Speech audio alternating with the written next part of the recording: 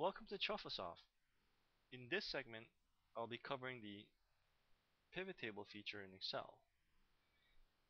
In Excel 2007, go to Insert tab, press Pivot Table, and Excel will do a remarkable job guessing your data range. As long as you don't have any blank lines in between, it will be spot on. So I'm going to press OK. And whatever field that you see up here, you can drag into these four spaces to create a summary view of whatever report you would like to see.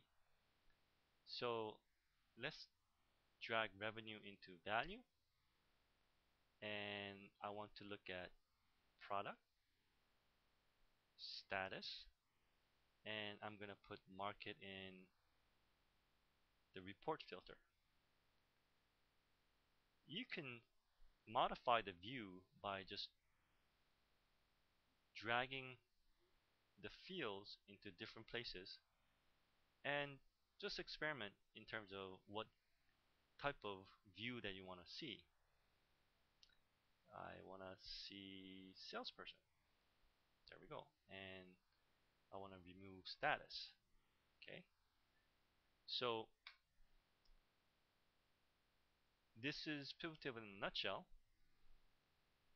And in Excel 2007, you have a little bit more feature in terms of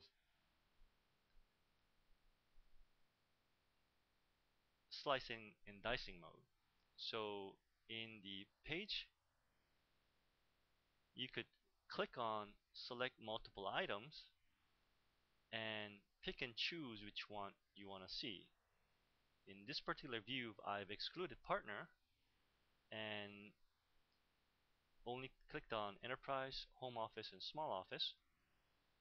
And as you can see, this sum will only represent those that I've selected and I can go back and click all to show me everything. In in previous version of Excel go to insert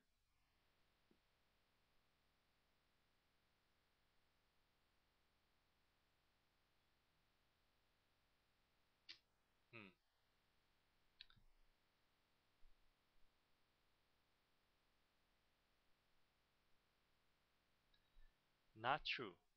I'm sorry. It's actually data, pivot table, next. And again, Excel did a pretty good job of guessing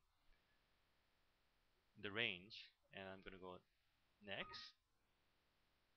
And if I've already used another pivot table using this range, it will give me this message. And I'm just going to say yes and basically what that does is it minimizes the size of your Excel file if you keep using the same range um, name. I'm going to press next. Layout. And as you can see it's slightly different from Excel 2007 but again same principle where all the data field that you have at your disposal will show up here. And I'm going to put price into data um, and I want to see product and sales rep. Okay, finish. So the previous version of Excel actually does not have all the capability in Excel 2007. So if you notice here, you can't choose multiple items. However, you can choose it from here.